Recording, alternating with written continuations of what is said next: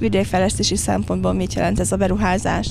A közlekedés fejlesztése a vidékfejlesztési stratégia megvalósítása szempontjából is rendkívül fontos dolog, hiszen közlekedés nélkül, utak nélkül nehéz termelni, nehéz eljutatni a vidéken megtermelt mezőgazdasági javakat a fővárosi és nagyvárosi piacokra.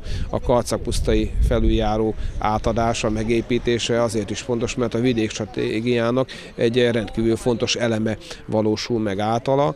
A jobb balesetmentes közlekedés, az, hogy egy európai szintű közlekedési hálózat, komfort fogadjon bennünket itt vidéken, az elengedhetetlen ahhoz, hogy a magyar vidék versenyképes legyen a nagyvárosokkal, a városi agglomerációkkal. Ezért is jelentős ez a beruházás, amelyet most átadtunk a vidék fejlesztése szempontjából, a karcagiak, nagykunságiak közlekedése szempontjából is rendkívül jelentős a karcagpusztai vasúti felüljáró átadása.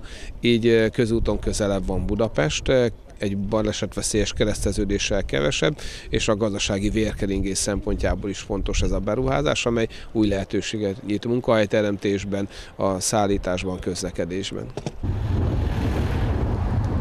Ez egy nagyon fontos beruházás, hiszen a lakosság biztonsága közlekedés közben az a legfontosabb, és ugye itt egy olyan csomópontot szüntettünk meg, ahol színben volt a vasút és a úthálózat, és nagyon sok baleset volt. Ennek az elhárítására egy ilyen felüljáró nagyon alkalmas, sokkal biztonságosabbá vált a közlekedés, és én abban bízom, hogy az összes út, út, út felújítási beruházás ezt a célt szolgálja, hiszen a Kátyus úton is könnyebben van baleset, a rossz minőségi úton könnyebben van baleset, minél jobb minőségű utakat tudunk biztosítani, biztosítani Magyarországon, annál biztonságosabban tudnak közlekedni a lakosok. Teljes vasúti beruházás a Szajol és Püspökadány közötti vasúti vágánynak a felújítását jelenti. Ennek vannak olyan pontjai, amely eh, kisebb beruházások, kisebb részek, de nagyon fontosak a helyben élők számára. Ugye ez a karcagi felüljáró is ilyen, ez 1,3 milliárd forintból épült, Európai Uniós támogatással az új, Széchenyi, új Széchenyi terv keretén belül 80%-os uniós és 15%-os hazai forrásból.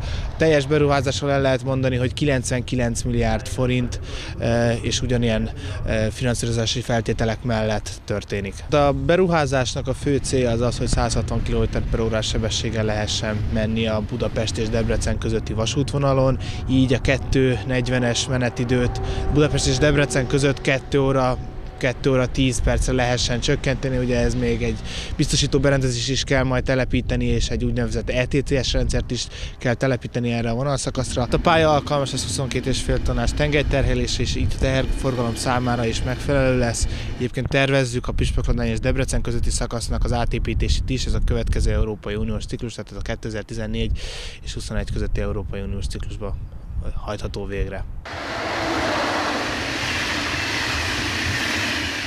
Szálas vasútvonalnak a fejlesztése Karcagnak nagyon sok eredményt hozott.